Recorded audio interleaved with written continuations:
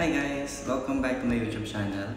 So today gagawa tayo ng yakisoba pero ito yung pinaka-easiest way how to make yakisoba. Kasi yung mga ingredients natin napaka-basic at simple, napakadaling hanapin. So let's begin! Okay guys, so for the ingredients, kailangan natin ng cabbage, onion, carrots, spring onions, bacon. Sa bacon, pwede natin pamalit yung iba, chicken or any other meat na gusto mong ilagay. At syempre, yung yakisoba. Yung yakisoba na to, makikita natin to sa Don Quixote. At yung sauce na gagamitin natin, instant na lang. Sa Don Quixote mo din makikita yan. So, di ba, napakadaling hanapin ng mga ingredients at napakadali nitong gawin. So, let's begin. So, pag medyo mainit-init na,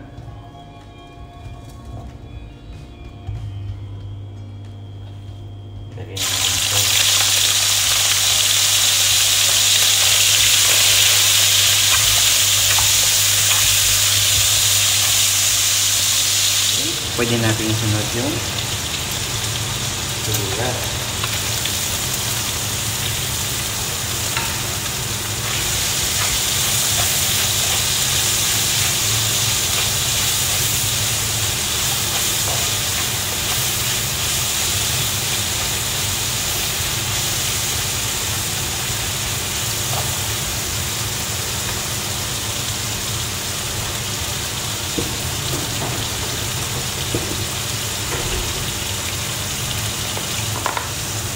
это, по-моему, стрит военный.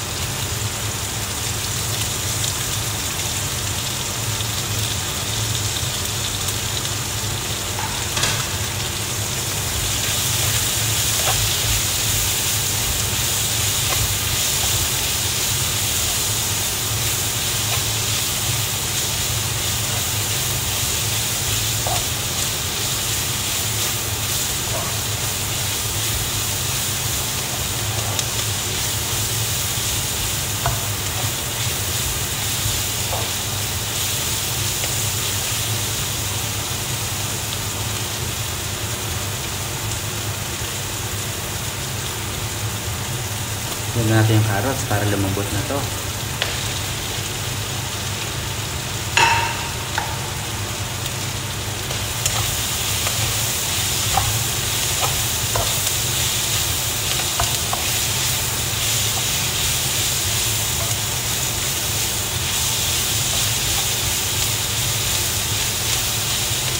Natin yung noodles natin o yung yakisoba. Make sure bago natin ilagay, iwahiwalay muna natin.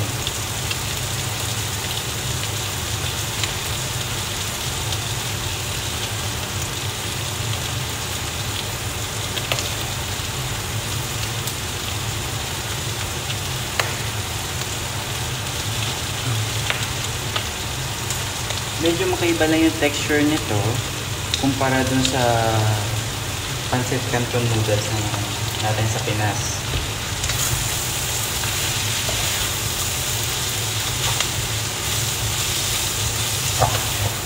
So, ang maganda dito, medyo ma-achieve natin, medyo i-toasted natin. Pwede na natin lagyan ng sauce.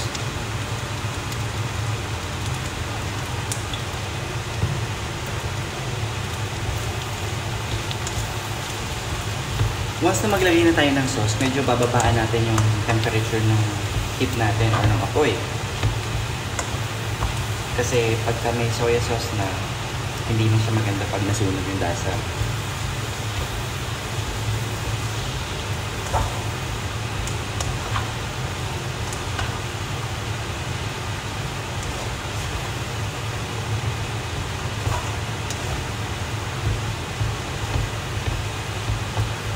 Okay, so pag nagka, nag-i-incorporate na yung sauce natin against dun sa noodles, after mga ilang minutes pa, pwede na natin ilagay yung cabbage.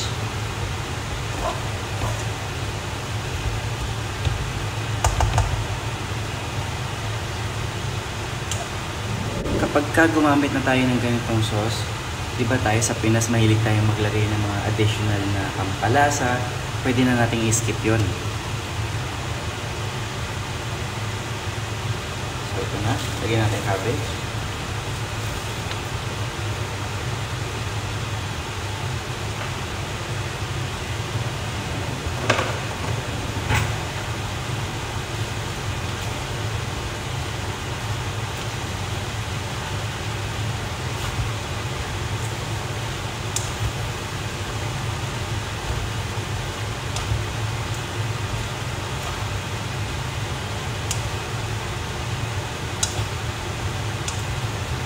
Pero kung let's say halimbawa naman, hindi kayo makakita ng yakisoba noodles, alternatively, gumamit na lang tayo ng yellow noodles o yung ginagamit natin sa typical na pansit canton sa Pinas.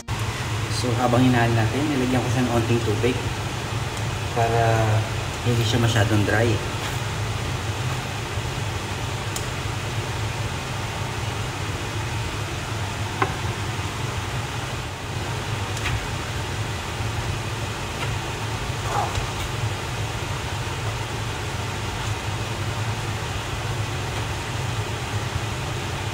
Ito na.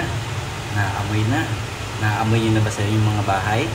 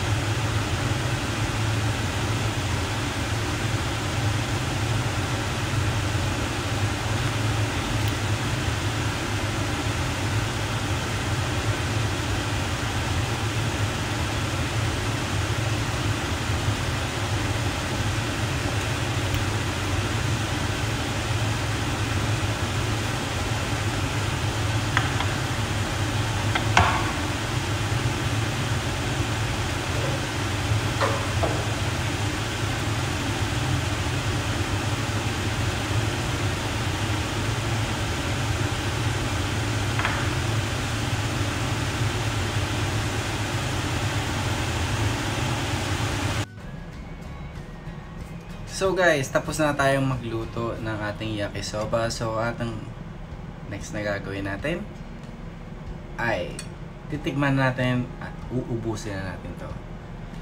So for more videos of food and travel, please like my page and subscribe na. Bye!